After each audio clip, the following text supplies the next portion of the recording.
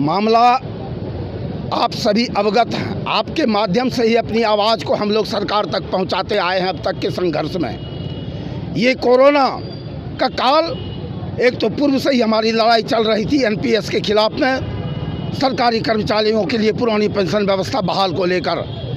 लगातार मांग कर रहे हैं कि सरकारी सेवाओं में ये मानदेय, अनुबंध आउटसोर्सिंग प्रथा बंद करो और जो अब तक इस तरह के कार्यरत कर्मी हैं उनकी सेवा को नियमित करो।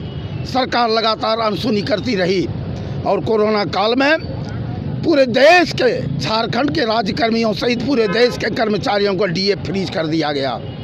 एक और आप देखे होंगे, सरकार आपदा, आकस्मिक अवधि का बात करती है, लेकिन इसी अवधि में अंबानी जी एशिया के नंबर एक धनाढ़ साबित हुए और देश के लोग, सरकारी कर्मचारी इसी दौरान दंश झेले हैं जिन्होंने पूरे कोरोना काल में सेवा दिया।